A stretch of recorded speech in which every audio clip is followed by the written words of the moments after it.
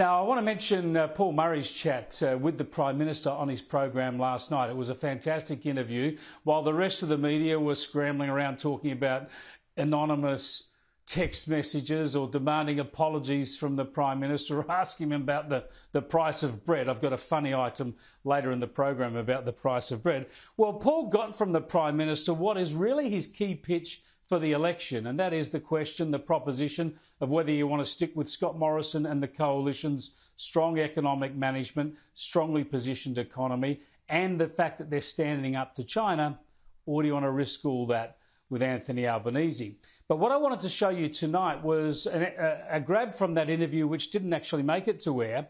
And this is uh, Scott Morrison showing that he watches this program, listens to the arguments we put forward, and he wants to do the things that we've been talking about. Have a look at this. We'll be dealing with this now, I think, for some time into the future. Now it will change.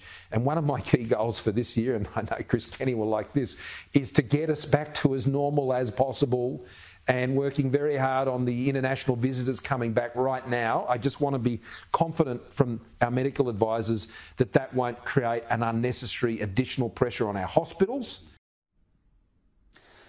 well, that was great to hear, wasn't it? Not just because he hears the arguments we've been putting on this show, but because he understands that crucial priority of opening up this country. So it gave us hope. But less than a day later, that hope has been dashed because listen to what Prime Minister Scott Morrison has said today when it comes to the Western Australian border and Mark McGowan's hard border with the rest of the country. Well, I'm saying that's the Premier's call. That's what I'm saying. And he has to make that decision based on what, on what he thinks um, his health system is ready to absorb. But at the end of the day, Mark McGowan's got to make that call, and we've been supporting him. No, no, no, no, no.